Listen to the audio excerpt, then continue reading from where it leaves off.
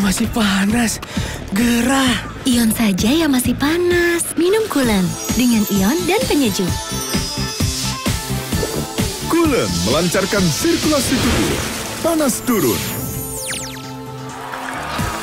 Kulen baru lebih menyegarkan.